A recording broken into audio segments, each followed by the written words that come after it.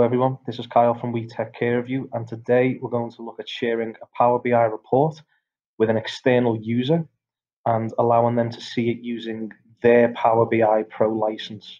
So they will be a guest user in your tenant, but when you share your report, they can see that using their own Power BI Pro license in their tenant. Um, so let's get started. So first things first, if you can come to portal.azure.com and you will see your Azure portal. Uh, so if you can go to Azure Active Directory and then select on users on the left. And what we want to do first is add that external guest user into our Active Directory, into our tenant. So if you can select here, new guest user, invite user,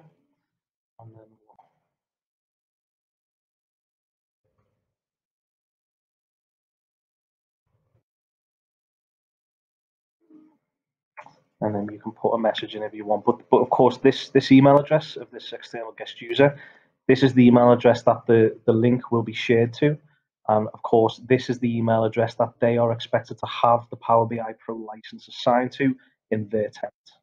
Um, okay, so once you've filled in all that information, if you can scroll down and you can click invite.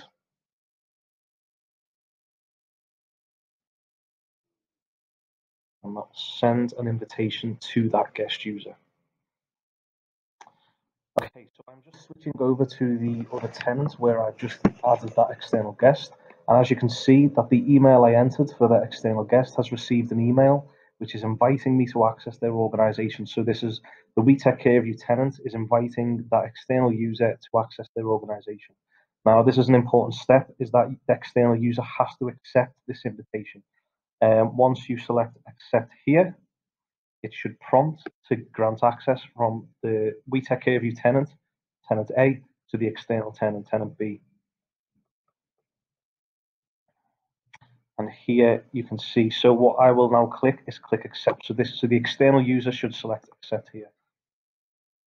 Okay, so now the user has accepted that invitation and the link between the tenants is set up. Now I'm going to share the Power BI report with that user. So what you need to do is you come into the report that you would like to share with that external user.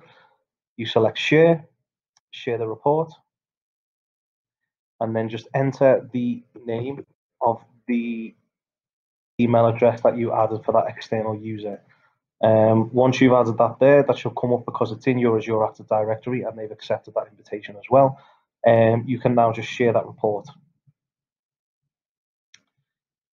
Then that external user will receive an email with a link to this report. So I will just again swap back to the other tenant um, and the email should come in shortly. Okay, so now you see I've received the link. So I can open this report. And the first time that you open this report, it will still ask you to upgrade to Power BI Pro. But again, if you've got that license assigned to your account in this external tenant, you can just click not now. Um, for some reason, that seems to pop up. Once you've clicked Not Now, uh, you can open the link again, and the report will load. And there you can see. So now you can see that the, the report is now shared. Um, if I click my profile here, you can see I'm using the Pro account. So I am using the Pro account in this external tenant, and it is not assigned to me in the We Tech Care You tenant, even though I'm sharing this report. Um, I hope this helps everyone. Uh, I, I, know I had some some sticky situations with this at first. Now I found that this way works well. Um, so I hope this helps. Please don't forget to like and subscribe the video. And uh, thank you for watching. Take care.